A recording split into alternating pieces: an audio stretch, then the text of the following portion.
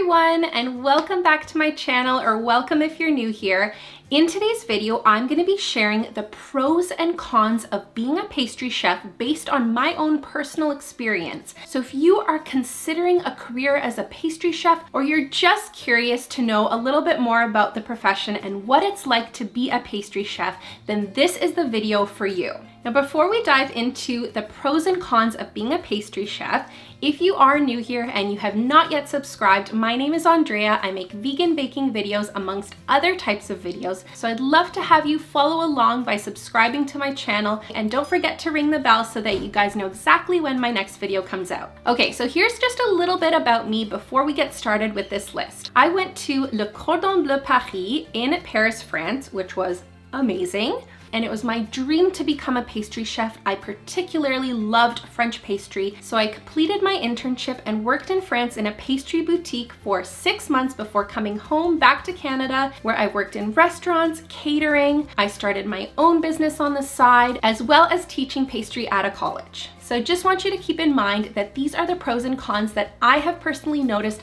during my six years as a pastry chef. Okay, I'm gonna start off by looking at the cons of being a pastry chef so that we end this video on a positive note with the pros. All right, the first con is that it is a highly physically demanding job. This is something that I sort of knew ahead of time that I'd be on my feet a lot, but I did not know the extent of how physically demanding this job really is until I was in the industry working. When I started off as an intern, I was working 10 hour days minimum, sometimes 12 to 14 hour days, and that was pretty standard. So for most of these hours, you're on your feet, which is hard enough, but on top of it, you're working hard. You're often hunched over a table doing some kind of detail work or a lot of repetitive action with your hands. You're carrying heavy things, all of those ingredients that you need to make those beautiful desserts. You're the one who's going to be lifting and carrying those boxes. And depending on where you're working, you might have to go up a lot of stairs, but even just putting away those boxes of ingredients is a workout in itself. And I know that when we're young and our bodies are fit and we're in our greatest shape of our life, we're not really thinking too far ahead, but keep in mind all of this physical activity will eventually catch up with you. So you do have to think, can you physically sustain this job into the future? Is your body made for it? One of the reasons why I am no longer an actively working pastry chef is because I started damaging the joints in my hands and after lots and lots of testing, doctors just said that the joints in my hands were already loose to begin with and that they just weren't made for this kind of repetitive strain day in, day out. So I had to actually rethink my career after that. I still make pastries, I still do a ton of baking, so keep in mind there are other ways that you can still be a pastry chef but not be working super strenuously and putting all that strain on your body. Okay, the second con is that you can pretty much say goodbye to your evenings and weekends, your holidays, basically anytime that your friends or family are off work, enjoying life, you are working. This is something that in the first couple years of being a pastry chef wasn't too big of a deal for me because I was still super young. And if you're lucky, you become really close friends with everyone in the kitchen who you're working with, and they become your friends. They become your social life within work. So you don't really feel like you're missing out too, too much. But I noticed as the years go on, I was constantly missing out on big events because I had to work evenings or weekends or during holidays. Again, this is something you might not think about or that will really bother you or get in the way when you're young, but think about down the road, especially when you want to start a family or even just being in a relationship. It can be really challenging to have that work-life balance. All right, con number three is that being a pastry chef is a highly, highly stressful job. It's either your name on the menu, so your reputation is on the line, or just the business itself that you're working for, their reputation is on the line. And it all comes down to the quality product that you are producing day in and day out. And let me tell you, there are so many times when things go wrong in the kitchen and you have to fix them or orders come in and you just really want to please those clients. So you have to put in those extra hours and it can be super, super stressful or people don't show up to work and everyone's relying on you to perform everyone else's duties. And there is so much going on constantly all at once. So there is is a lot of multitasking required to be a pastry chef. So if you're someone that gets stressed out very easily or finds it difficult to manage your time or multitask and you get anxious and overwhelmed very easily, this is gonna be a huge struggle when being a pastry chef. But at the same time, I do wanna say, because I struggled with a lot of these things, but I still was able to do my job really well, these are things that you can work on, but this really depends on your personality. So if you're kind of daily stress and anxiety from the job, just start taking over your passion and love for being a pastry chef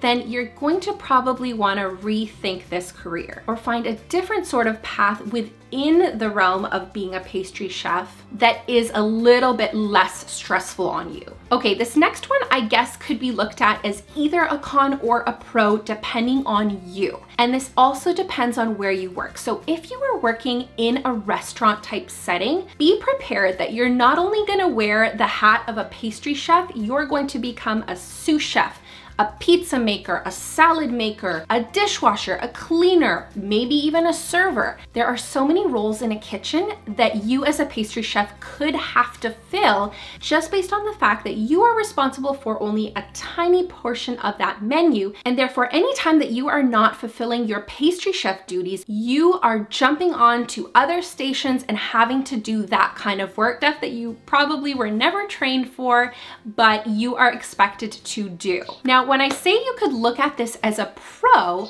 I have to say being thrown into these situations where I didn't know what I was doing, I actually learned so much. I learned a lot about cooking and things that I might not have learned otherwise if I wasn't thrown into those situations. But if you're not prepared to be flexible within a restaurant and you really just wanna be the pastry chef, then that might be a little bit challenging depending on where you're working. Okay, con number five is that being a pastry chef is not glamorous. Unless you are one of the like 1% that ends up with their own cooking show, or you just reach this kind of celebrity pastry chef status, or you reach a really high position in a very, very renowned type of restaurant or other type of establishment, chances are you are doing a lot of very unglamorous type of tasks.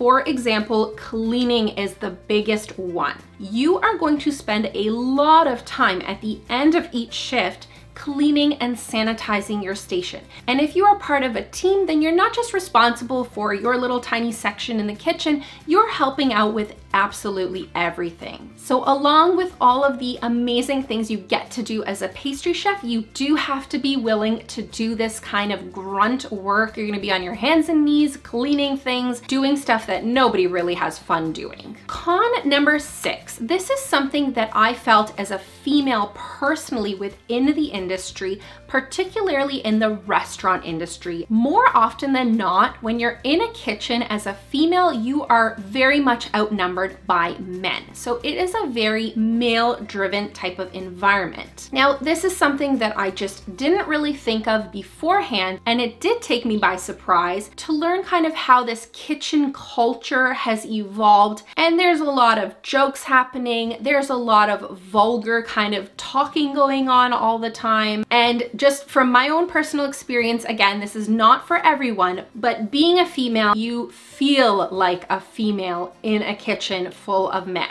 So ladies, you know when you're walking by a construction site, that feeling you get, it can feel like that sometimes. And there are times that you're just, you're gonna feel uncomfortable or things are gonna be said to you and you don't know how to respond, or you're just not willing to put up with certain type of comments and a certain type of kind of atmosphere at work. Again, this is not every single restaurant. This is not every single workplace within this industry. I have worked in kitchens where females outnumbered men and there was an entirely different kind of atmosphere in the kitchen, but this is just something to be wary of as a young female entering this industry, that it is still very male dominated kitchens can become places just as any workplace where harassment is present and may go unnoticed. So I just wanna say if you don't feel comfortable, you definitely need to stand up for yourself, talk to someone, or get out of a bad situation or environment that is not making you feel comfortable. And the last con to being a pastry chef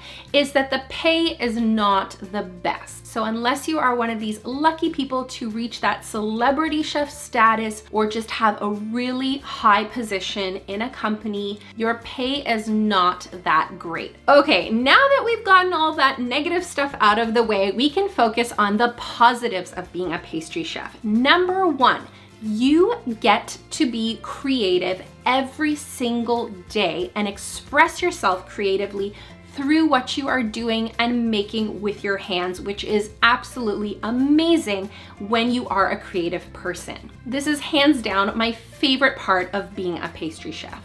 And secondly, you will never be bored in this job. Being a pastry chef every single day is typically very different from the next depending on where you work, of course. But menus are constantly changing, or if you're working at a catering company, your types of clients and orders coming in and occasions and things that you're making are constantly changing. So this is really the opposite of your boring nine to five desk job. Your career is going to feel exciting if you're someone like me who gets bored very easily and likes constant change, then this is the career for you. The third pro of being a pastry chef is that you could potentially just have these really unique opportunities presented to you. For example, in my very first job as a pastry chef, I got the opportunity to work with a charity and I got to be partnered up with a designer of my choice that was on this list of designers participating and I was able to choose to be partnered up with Jillian Harris and I got the opportunity to create the gingerbread house that she personally designed and then we auctioned it off for charity. Also, when I worked at a catering company, I was part of this event that was promoting one of the 50 Shades of Grey books. So we actually created a man, like the bust of a man, out of chocolate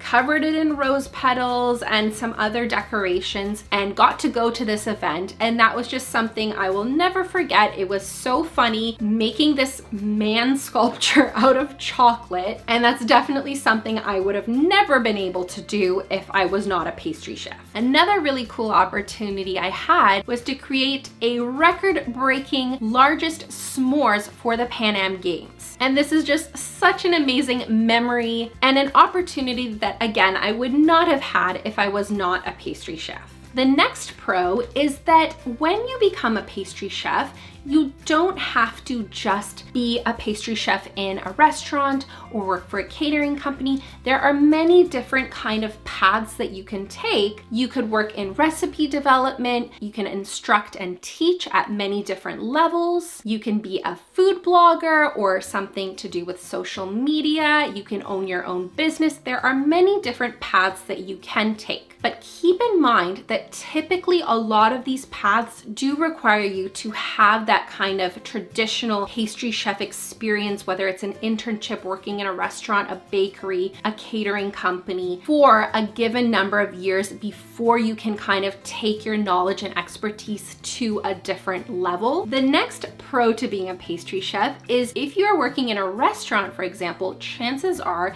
you're going to be getting some sort of staff meal throughout the day and just eating some really good food. When you're working in a kitchen, you're constantly tasting things. Other people are having you taste what they've made and you're just surrounded by all this good food and good quality ingredients. I remember not having to pack a lunch for many years when I worked in restaurants, which was really good. And if you're not working in a kitchen, but you're surrounded by baked goods and all that stuff, chances are you can take those things that don't sell at the end of the day or extras of stuff and have them at home, enjoy them with family and friends. So that's just another little perk. And my last pro for being a pastry chef is that you can pretty much work globally. Typically, your credentials and your experience for sure are recognized all over the world. So you really do have a lot of opportunities and you can work in other countries if that's something that you're interested in. All right, guys, that is the end of my list of pros and cons of being a pastry chef. If you have any questions for me at all, you can just ask away in the comment section below. And if you enjoyed this video and found it helpful for you, please give it a like. And again, don't forget to subscribe to my channel. Thank you so much for watching and I will see you guys in the next video. Bye.